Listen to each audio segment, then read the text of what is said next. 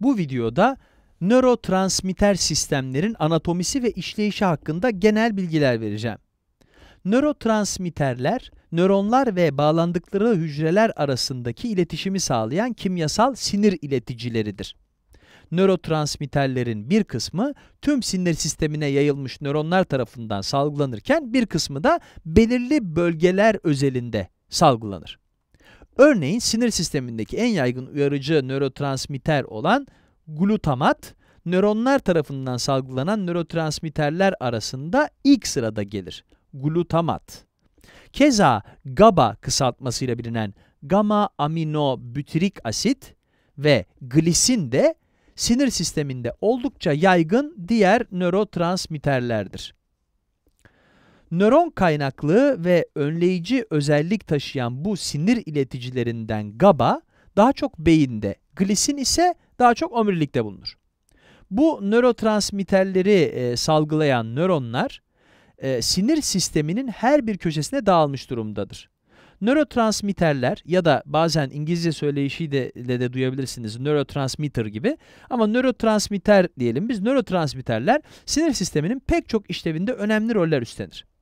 Kısaca değinmek istediğim bir diğer şey de serebral korteksin dört bir yanına uzanan aksonlarıyla spesifik nörotransmitterler üreten nöron öbekleri ve beynin bu öbekleri barındıran bölgeleri. Şimdi şuraya serebral korteksin çeşitli yerlerine uzanan sembolik birkaç akson çiziyorum. Bir takım özel nörotransmitterler serebral kortekste geniş alanlara yayılan bu aksonlar sayesinde sinir sisteminin üst düzey işlevlerinde kilit roller üstlenen bölgelere ulaşıyor.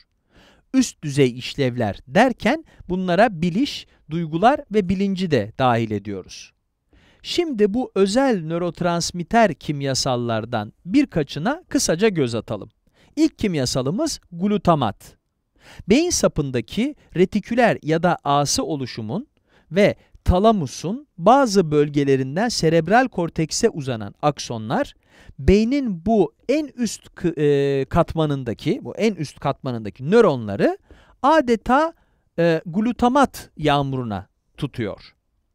Serebral korteksin en ücra köşelerine glutamat sevk eden ve sinir sisteminin üst düzey işlevlerinde kilit rol oynayan bu düzene de arkadaşlar retiküler aktivasyon sistemi denir retiküler aktivasyon sistemi bilinç dediğimiz şeyin olmazsa olmazı yani o yoksa neymiş bilinçte yok diyebiliriz.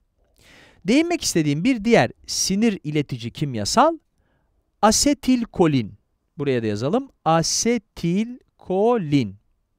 Bu da beynin ön lobundaki yani frontal lobdaki bir takım çekirdek gruplarından serebral korteksin çeşitli yerlerine yayılan bir maddedir. Sözünü ettiğim çekirdekler ise bazal çekirdek ve septal çekirdeklerdir. Bir diğer nörotransmitter madde histamindir. Bu sinir iletici kimyasal da hipotalamustaki bir takım nöronlara ait aksonlar sayesinde tüm serebral kortekse yayılıyor. İşaretlediğim şu bölge hipotalamus. Buradaki sinir hücrelerinin uzantıları serebral korteksin dört bir yanına dağılarak histamin salgılıyor norepinefrin ya da diğer adıyla noradrenalin. Bu kimyasalın çıkış noktası da pons adı verilen e, yapının şu bölgesi. Norepinefrin buradaki bir grup nörondan çıkan aksonlarla serebral korteksin çeşitli yerlerine ulaşıyor. Bahsettiğim bölgenin adı da locus ceruleus. Locus ceruleus. Beynin norepinefrin deposu. Sırada daha bilindik kimyasallar var. Mesela ilk olarak serotonin. Bu nörotransmitter beyin sapının farklı kademelerinde kesit üzerinde gösterecek olursak orta beyin, pons ve medullada bulunan rafe çekirdekleri adlı çekirdek öbekleri tarafından salgılanıyor. Anlaşılan o ki üst kısımlardaki çekirdeklerden çıkan aksonlar serebral kortekse, daha alt seviyedekiler de sinir sisteminin farklı bölgelerine serotonin gönderiyor. Sinir sistemimizdeki bir diğer nörotransmitter madde ise dopamin. Son olarak ondan da bahsedeyim. Dopaminin çıkış noktası tam işte tam şurası. Orta beyindeki ventral tegmental alan ya da kısaltılmış haliyle VTA. Dopamin bu bölgeden çıkan aksonlar vasıtasıyla serebral korteksin çok farklı bölgelerine ulaşıyor. Nörotransmitterleri serebral korteksin en ücra köşelerine kadar ulaştıran tüm bu sistemler sinir sisteminin biliş, duygular ve bilinç gibi üst düzey işlevlerinde çok önemli roller üstleniyor.